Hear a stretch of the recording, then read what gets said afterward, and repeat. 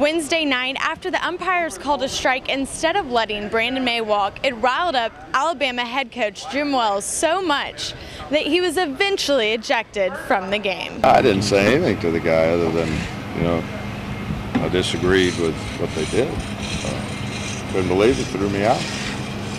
But, uh, yeah, I thought the ball hit him and he was in the box, but they said it hit the bat. And, uh, key thing there to get a runner on. Got a chance to move him over, win the game right there.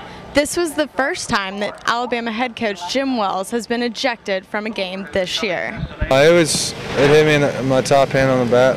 Um, I mean, it's unfortunate, you know, the call, but you know, you got to keep going. I don't, I don't really think that uh, it was a it was a game-changing thing, uh, you know. But it, it definitely help that I thought I'd have gotten on base, you know. It was a good umpiring crew, and you know sometimes you get caught in a, a tough situation. But because the ball did, you know, come halfway down the line, I thought maybe it did hit his bat, but uh, part of the game.